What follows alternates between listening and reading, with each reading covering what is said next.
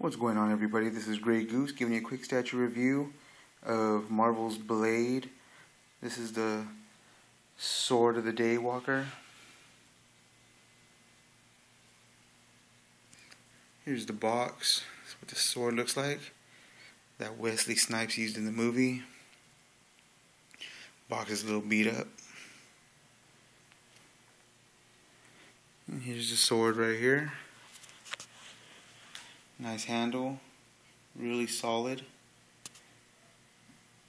Nice little stand.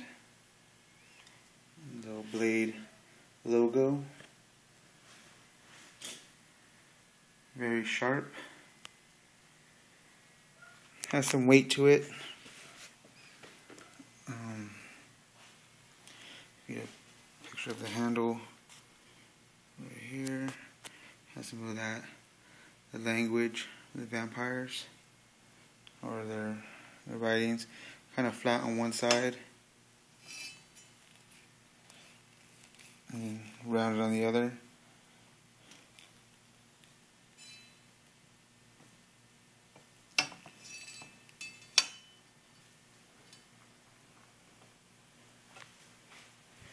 Very nice sword. Not that long probably a little over three and a half feet. Has some nice weight to it. One thing everybody always asks me is, does it have that one feature where the blades pop out for your fingers right here that Wesley Snipes kept pushing? The answer is no. I guess it's just the movie version. Let's see if they have that little Here's a little mock switch.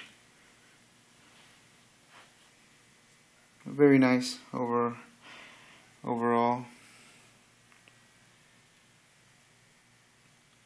If you're into swords, this is a very nice piece to get.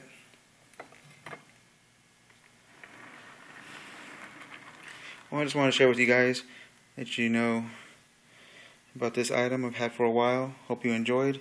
Let me know what you think. Like, subscribe, leave a comment, and I'll be back with some statues very soon. Thanks.